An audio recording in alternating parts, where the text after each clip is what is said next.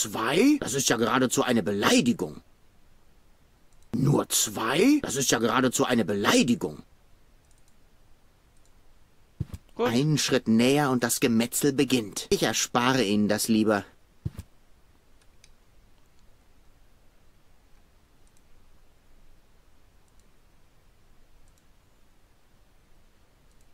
Hm, Hier ist es hell genug. Das strahlt schon genug. Nur Wasser.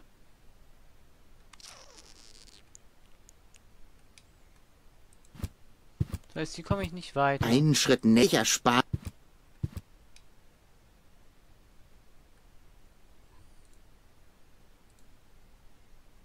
Es ist wohl besser, wenn sie die nicht sieht.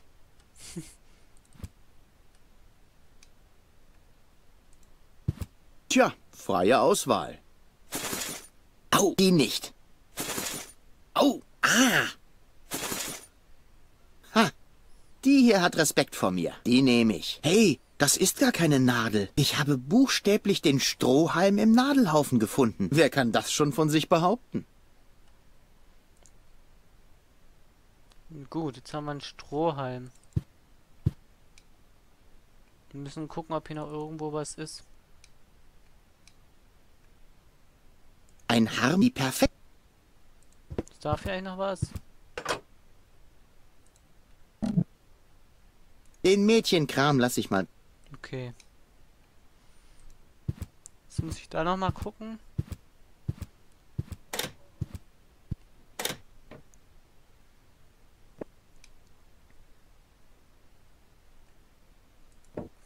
Na, kann ich irgendwie helfen? Ha, guter Versuch. Aber auf solche Tricks falle ich nicht rein. Das ist kein Trick. Ich. Gib dir keine Mühe, Schwarzbart. Wehe, du hast dem Mädchen was angetan. Aber nicht doch. Sie war schon so, als ich sie gefunden habe. Da dachte ich, sie könnte sicher einen Arzt gebrauchen. Johoho, und ne Buddel voll rum, was? Was? Nein, ich, äh. Hä? Dachte ich mir's doch. Wow.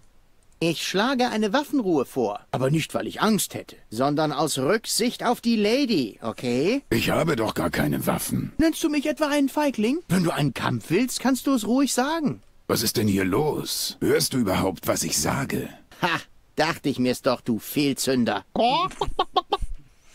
Wow. Wie hältst du es nur in diesem dreckigen Piratennest aus? Aber ich habe doch gerade erst frisch gewischt. Ach ja? Und ich kenne Seekühe, die riechen besser als du. Und zwar hinten raus. Vielleicht gehe ich nachher nochmal über alles drüber. Haha, beim Klabautermann. Hart Backbord. Ar, ar, ar. Ja. Komm uns nicht in die Quere, hörst du? Du kannst später noch brandschatzen, so viel du willst. Aber hier ist feinmechanischer Sachverstand gefragt. Na hör mal. Ich habe Feinmechanik studiert. Ich war sogar drei Jahre lang. Verschon mich mit den Geschichten von deinen Kaperfahrten, du Störtebäcker. Ich habe hier ein Problem, das sich mit roher Gewalt nicht lösen lässt. Arr. Arr. Lass Doc frei. Aber. Aber er hat eine Passage zum schwimmenden Schwarzmarkt gebucht. Ach ja? Deine Mutter hat gleich zwei gebucht. Hey, halte meine Mutter da raus. Wo auch immer da ist. Touché, Captain. Touché. Ich behalte dich im Auge. Ich sitz doch nur hier. Eben. Eben. Ich hoffe, du weißt, was du tust. Natürlich weiß ich das. Hm. Ich sollte vor... Wer weiß? Ich brauche kein... Ich Ort... Hey, wo ist... Was brauchen wir jetzt diesen Strohhalm? Wir haben wir ja hier nicht.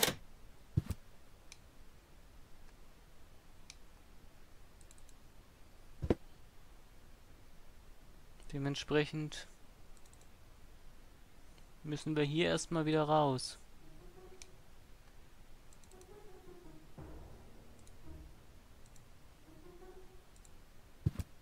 Ich erspare Ihnen das lieber. Genial! Endlich werde ich diesen widerlichen Geschmack los. Okay. Neue Mission. Ich hoffe, Goal passt gut auf. Das hier werde ich nämlich nur einmal machen.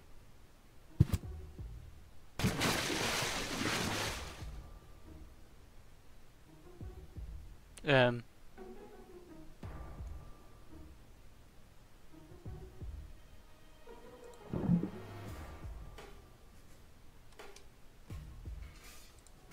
Okay, kommen wir jetzt in den Koffer? Ach so, dafür ist der Strohhalm. Und wie wird da durchkommen? Au!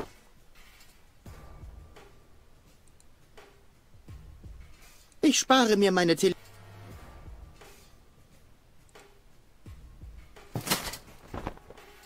Ich spare mir meine...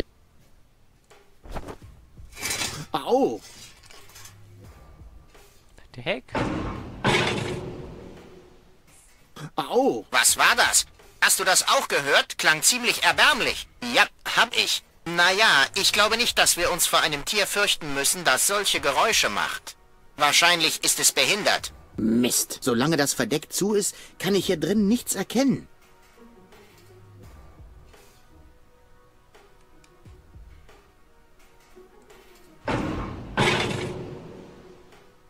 Au! Solange das Verdeck zu...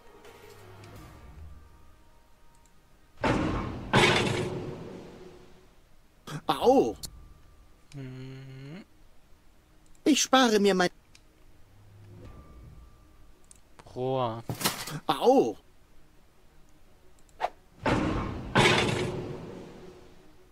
Au! Solange das Verdeck... Aha! Das markerschütternde Hupen wird sie betäuben. Was uns zu Plan B bringt. Ich spare mir meine Teleki...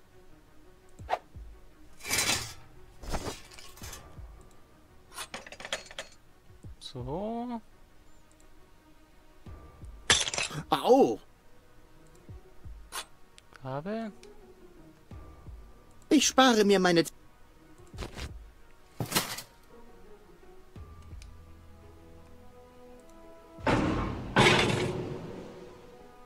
Au! Solange das Verdeck zu ist, kann ich hier drin nichts erkennen.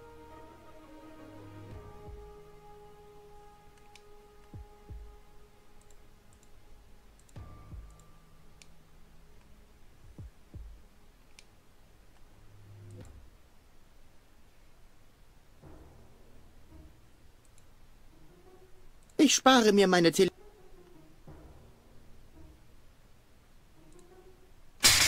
Au! Nein, Nein. ich spare mir meine... Die Haube wird von diesem roten Ding da aufgehalten. Mehr kann ich nicht erkennen. Ich spare mir... Au! Was haben wir denn jetzt hier? Eine Gabel.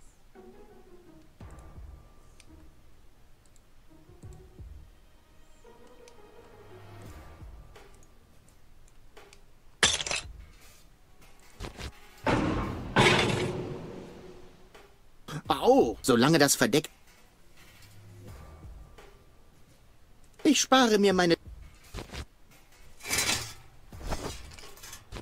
Nein. Ich spare mir mein...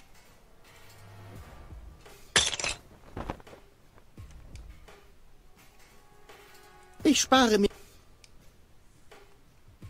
Ich spare mir...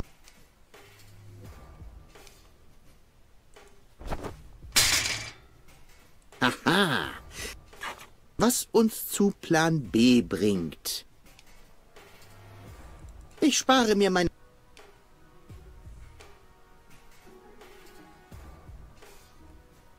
Ich spare mir...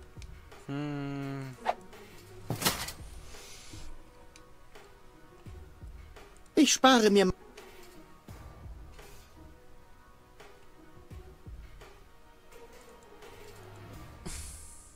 Ich spare mir... Sie ist so weit weg, aber ich kann ihre Lippen lesen. Du schaffst das. Selber Schlappschwanz. Du schaffst das.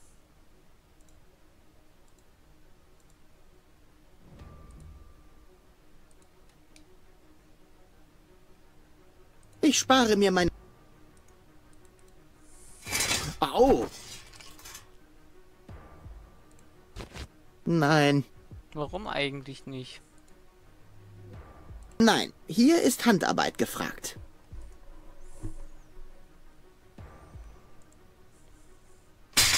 Au!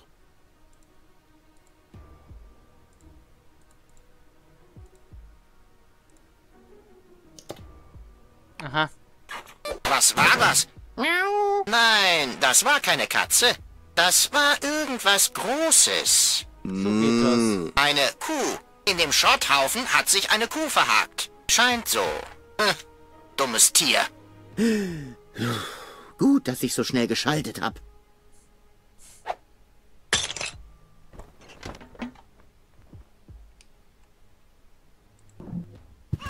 Reiß dich mal zusammen, das war nur der Wind. Ich spare mir meine Tele... Ich kann nicht näher ran. Die Organons würden mich sehen. Jetzt kann ich endlich rüber, ohne dass es quiekt.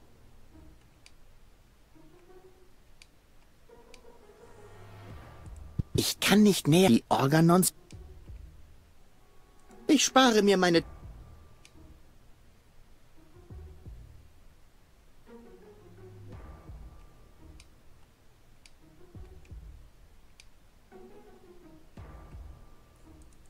kann nicht die Organon...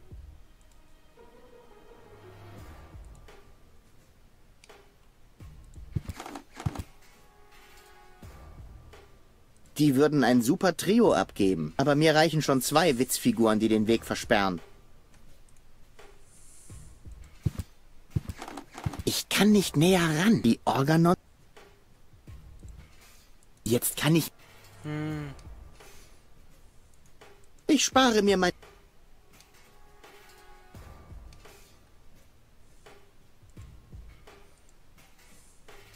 Ich spare mir mein... Ich spare mir mein... Wo soll ich denn mit diesem spar- Ding hin? Ich brauche kein Licht im Inventar. Ich ordne. Hey! Ich sollte... Wer weiß...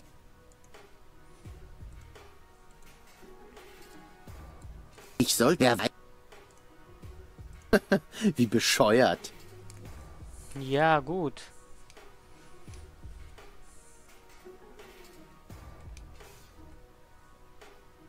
Ich spare mir meine... Te ich spare mir meine... Te Ja, warum kommt er jetzt hier überall? Ich spare eine Rakete. Ich spare mir mein- Für später auf. ich spare... Da komme ich ja nirgendwo weiter. Ich kann nicht näher ran. Die Organon...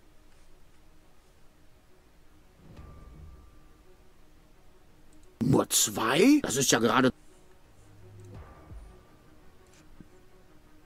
Hier ist es hell genug.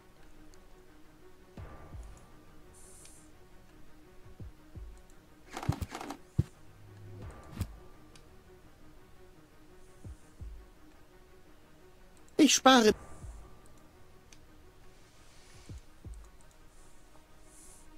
Ich kann nicht mehr die Organ...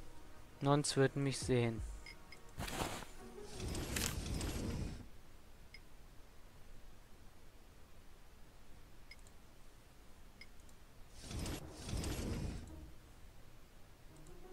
Ich sollte vor... Wer weiß, ob...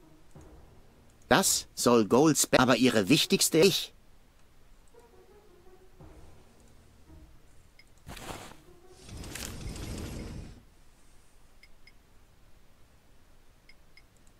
Komisch, dass das hier nicht abgehakt ist. Weil das Ding ist ja schon längst wieder drinne.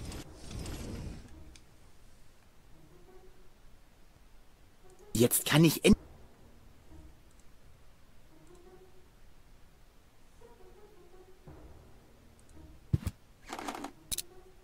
Ich muss es ja quietschen. Jetzt habe ich es auch gehört. Hallo? Hallo, ist da wer? Du bist paranoid 2017. Okay, da musste ich also lang. Mit dem Ding.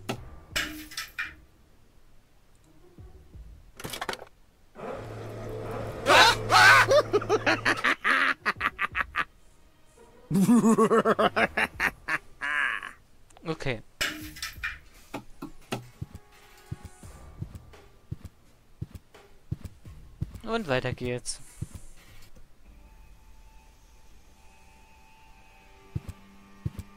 Na gucken, vielleicht kriegst du ja heute hier Das war noch nicht durch. übel.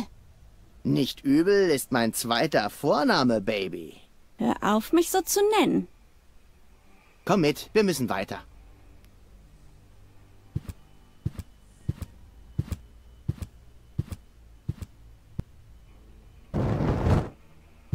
Jetzt ziehst du das Ding doch wieder an, ja. Wer da? Be- Ich bin es nur, Cletus. Mit Goal, meiner bezaubernden Verlobten. Na endlich. Ich hatte schon Angst, sie wäre mit diesem stinkenden Deponianer durchgebrannt. Ein abwegiger Gedanke. Au contraire, Schnuckimaus. Du kannst ruhig zugeben, dass du ein Auge auf diesen Rufus geworfen hast. Verständlicherweise. Er schien mir ein verwegener Draufgänger zu sein. Aber nicht doch, Schnutzipups. Er war nur ein selbstverliebter Trottel. Das reicht jetzt. Sie können immer noch rumturteln, wenn Sie zurück auf Elysium sind. Oh yeah. Yeah. Yeah, eher, desto besser. Gut. Dürfte ich Sie noch kurz unter vier Augen sprechen, Herr Botschafter? Äh, Natürlich. Geh doch schon mal vor, Liebes. Ich und der Amtmann haben noch Dinge zu besprechen. Äh, Offenbar. Aber, Husch, husch. Okay, wir sehen uns dann ja gleich, richtig? Tüdelühü. Sagen Sie mal, haben Sie noch alle Tassen im Schrank? Ich dachte, wir hätten eine Vereinbarung. Die Erinnerungen von Fräulein Goal müssen gelöscht werden. Und wir brauchen die Aufstiegscodes. Keine Panik. Ist ja alles in Arbeit. Ich tausche die Datasetten aus und ähm, lasse das Original auf der Plattform liegen. Ne? Dann sind alle glücklich. Richtig? Ja, alle bis auf die Deponianer.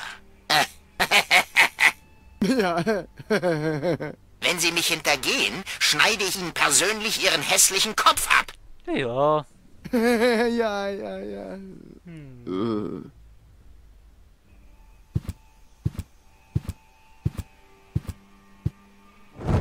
wusch.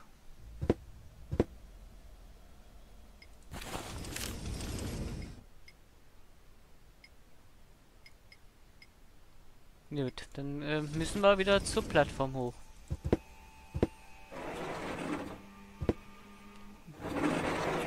Goal ist ja wohl schon vor, genau. Das kann doch nicht dein Ernst sein. Hier leben Menschen, Klitis. Ich habe sie selbst gesehen. Ich hab's dir doch erklärt. Ulysses hat recht. Wir können nicht. Störe ich? Rufus. Na endlich. Ich war schon drauf und dran, diesen uneinsichtigen Idioten vom Turm zu werfen. Frag mich bitte nicht, was ich jemals an dem gefunden habe. Was soll das, Rufus? Ich dachte, wir hatten eine Abmachung. Falsch gedacht, Cletus. Ich werde mit Goal nach Elysium gehen. Das ist ein Witz, oder? Bitte, Goal, sag mir, dass das ein Witz ist. Es ist kein Witz. Rufus wird mich nach Elysium begleiten. Er wird mir helfen, die Wahrheit über Deponia ans Licht zu bringen. Haha, und du glaubst wirklich, die lassen so jemanden in die weiße Stadt? Warum nicht? Jeder wird ihn für dich halten. Den? Dass ich nicht lache.